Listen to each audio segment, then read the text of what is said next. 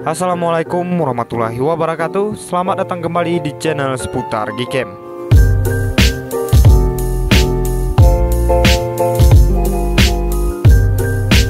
Oke di video kali ini kita akan review Gcam Semim di malam hari Dan juga config terbaru.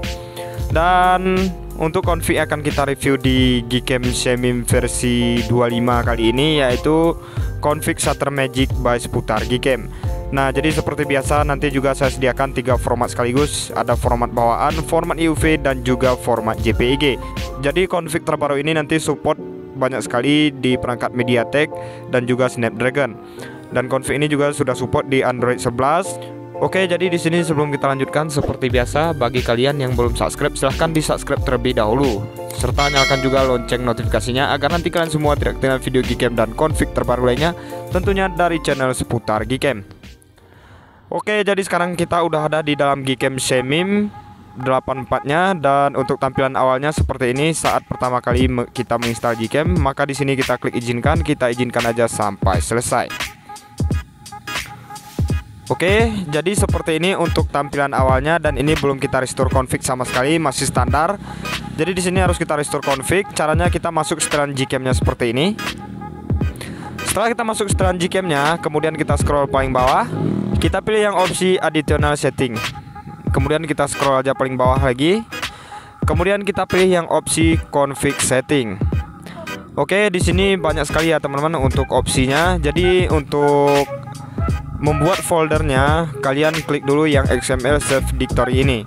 Jadi nanti di sini ketahuan uh, akan tersimpan di folder mana. Jadi untuk file config-nya nanti kalian pindahkan di dalam folder Gcam kemudian uh, di dalam folder Gcam ada lagi folder config 84 Oke jadi di sini kita pilih lagi yang opsi config save ini. Kemudian langsung aja di sini kita klik yang tulisan yes. Ini nanti bertujuan untuk membuat folder Gcam Oke langsung aja di sini kita masuk ke file manager. Kita pindahkan untuk file config-nya. Oke seperti ini. Kita cari file config yang udah kita download tadi ya teman-teman Oke, ini dia Shutter Magic.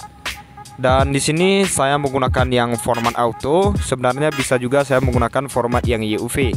Jadi untuk HP yang kamera 2 apinya level 3 ataupun level full, kalian bisa juga uh, menggunakan yang format auto ya, teman-teman. Oke, langsung aja di sini kita pindahkan uh, ke dalam folder Gcam ya, teman-teman. Kita cari folder Gcam. Ini dia. Kemudian dalam folder Gcam ada uh, folder config 84. Oke, seperti ini langsung aja kita tempel, kemudian kita kembali, kita masuk lagi ke dalam Gcam Semin 84-nya seperti ini. Nah, untuk merestore config-nya sama seperti Gcam-Gcam lainnya ya, teman-teman. Kita ketuk aja dua kali di samping tombol shutter seperti ini. Oke, kemudian kita pilih file config yang udah kita pindahkan ke dalam uh, folder Gcam config 84 ya teman-teman kemudian kita klik yang tulisan impor Oke, misalkan untuk tampilannya udah berubah seperti ini, berarti file konfigurasinya udah berhasil kita restore. Dan di bawah sini ada beberapa fitur tambahan. Di sini ada manual fokus. Kemudian di tengah ini ada manual ISO, kemudian yang terakhir di sini ada manual shutter speed. Kemudian di bagian pojok kanan sini ada aux lane ya teman-teman uh, yang terdiri dari kamera utama, kemudian kamera ultrawide dan juga kamera makro. Kemudian di bagian atas ini ada pengaturan AWB, kemudian ada auto night shade juga. Oke, tanpa berlama-lama seperti apa untuk hasilnya langsung aja kita ke reviewnya. Oke teman-teman, jadi di sini saya akan review untuk mode kamera terlebih dahulu dan di sini kita matikan untuk night shade-nya. Kita cek lagi untuk rinciannya di bagian sebelah kiri sini. HDR-nya kita pakai yang HDR disempurnakan. Untuk rasio gambar kita pakai yang standar. Oke, kita tapkan ke objeknya seperti ini dan ini AWB-nya kita off-kan, langsung aja kita shoot. Oke, nice. Kita tunggu dulu proses HDR-nya sampai selesai. Dan di objek yang sama ini saya akan tes uh, mencoba tiga gambar ya teman-teman yaitu ada kamera bawaan kemudian uh, mode kamera auto next nya kita on kan kemudian mode astrofotografinya. Jadi nanti bisa kita bedakan antara ketiga hasil tersebut. Oke kita cek untuk hasil yang barusan. Nah jadi seperti ini untuk hasil dari mode kameranya dan ini auto night seat nya kita matikan. AWB nya kita off kan Ini sebetulnya untuk hasilnya uh, bagus, cuma di sini sayangnya untuk exposure-nya sedikit lebih gelap ya teman-teman. Karena auto night nya kita matikan dan ini detailnya masih kelihatan. Oke, selanjutnya di sini kita coba uh, mode kamera. Di sini auto night nya kita hidupkan dan di sini AWB-nya kita on kan. Oke, kita coba lagi, masih di objek yang sama. Kita tapkan ke objeknya langsung aja di sini kita shoot. Ini tanpa mode astro ya, teman-teman. Dan ini untuk prosesnya membutuhkan waktu sekitar 5 detik ya, teman-teman. Oke, untuk hasilnya udah berhasil. Dan kita cek untuk hasil yang barusan. Nah, teman-teman, jadi seperti ini ya untuk hasil dari Gcam Semim 84 menggunakan config shutter magic by seputar Gcam Wow kalian bisa lihat sendiri Ini untuk hasil mode kamera biasa loh. Dan ini auto night setnya kita hidupkan. Uh, Kemudian AWB nya ini kita on kan Kalian bisa lihat sendiri untuk tone warnanya benar-benar cukup bagus. Dan ini real belum ada kita polish sama sekali Kalian bisa lihat detailnya masih cukup detail ya teman-teman Benar-benar cukup recommended Config ini kalian gunakan baik itu di malam hari ataupun di siang hari Oke, next sekarang kita lanjut kita coba untuk mode malam astrofotografinya dan di sini AWB-nya kita on kan masih di objek yang sama. Kita cek untuk rinciannya di bagian sebelah kiri. Ini untuk astronya kita hidupkan. Kemudian di sini untuk rasio gambar kita pakai aja yang standar. Kita tapkan lagi ke objeknya seperti ini. Kemudian langsung aja di sini kita shoot. Oke ini untuk prosesnya sekitar 3 menit lebih. Jadi nanti e, misalkan hasil muncul langsung aja kita stop. Nggak usah kita tunggu sampai jeda waktunya selesai ya teman-teman. Karena misalkan kita tunggu pun sampai jeda waktunya selesai Nanti untuk hasilnya akan tetap sama. Oke ini untuk hasilnya udah muncul kita tunggu aja dulu. Karena kalaupun kita tunggu sampai selesai Dia nanti untuk hasilnya akan sama teman-teman. Karena dia ini untuk prosesnya makanya lama seperti ini dia proses penangkapan cahaya lebih banyak kecuali kalian nanti mau coba shoot mengambil foto light trail. Oke langsung aja di sini kita stop. Dan ini langsung force close ya teman-teman. Tapi kalian nggak usah khawatir dia untuk hasilnya akan tetap menyimpan. Kita cek untuk hasil yang barusan melalui galeri seperti ini Oke, jadi seperti ini teman-teman untuk hasil mode astrofotografinya Gcam Semim 84 menggunakan config shutter magic by seputar Gcam. Wah, kelihatan banget di sini untuk perubahan tone warnanya dibandingkan dengan mode kamera auto night tadi. Di sini untuk exposure-nya sedikit lebih terang ya teman-teman dibandingkan dengan mode malam biasa tadi. Dan ini ibaratnya kita menggunakan mode malam biasa karena tadi auto night kita hidupkan ya teman-teman dan ini mode astrofotografi untuk tone warnanya di sini sedikit lebih hidup dibandingkan dengan yang tadi. Jadi untuk kesimpulannya untuk kedua hasil ini benar-benar cukup bagus.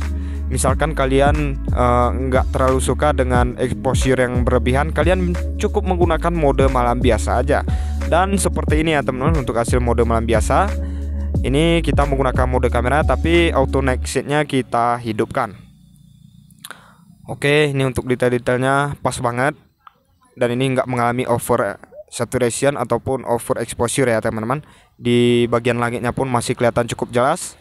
Oke, next sekarang kita lanjut kita coba lagi di objek yang berbeda. Oke, kita coba lagi di sini untuk mode kameranya auto next nya kita on kan. Kita ganti objeknya, kita tapkan lagi ke objeknya seperti ini langsung aja kita shoot. Oke, kita tunggu aja dulu.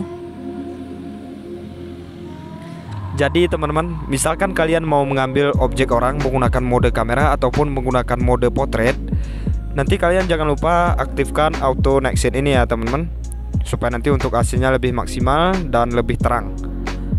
Oke, kita cek untuk hasil mode kameranya. Nah, jadi seperti ini ya teman-teman. Untuk hasil mode kamera dari Gcam Semin 84 menggunakan config setter Magic by seputar Gcam dan ini rinciannya tadi AWB nya kita on kan wah masih kelihatan cukup detail teman-teman.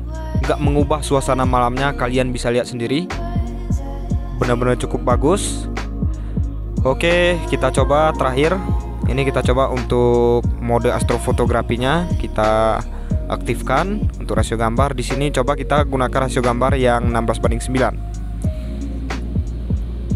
oke kita paskan dulu seperti ini kira-kira udah pas kita tapkan lagi ke objeknya langsung aja kita shoot. Nice ini untuk prosesnya 4 menit jadi nanti 30 detik berjalan langsung aja kita stop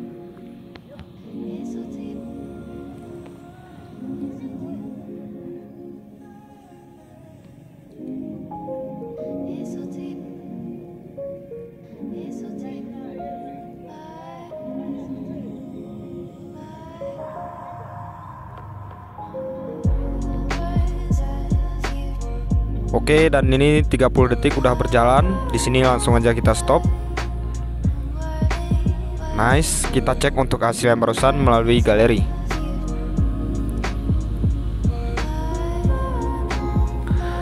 Oke teman-teman, jadi seperti ini ya untuk hasil dari Gcam Semim 84. Ini kita menggunakan mode astrofotografi config setter magic by seputar Gcam. Wow, untuk hasilnya cukup bagus tone warnanya ini teman-teman keren banget. Kemudian detailnya pun masih kelihatan cukup detail. Dan ini tadi menggunakan mode kamera biasa auto night setnya kita hidupkan. Sama-sama bagus untuk hasilnya. Jadi kalian sesuaikan aja dengan selera kalian ya teman-teman. Oke jadi saya rasa cukup sekian dulu video kali ini. Terima kasih atas waktunya sudah menonton. Nantikan juga Gcam dan konfig terbaru lainnya tentunya dari channel seputar Gcam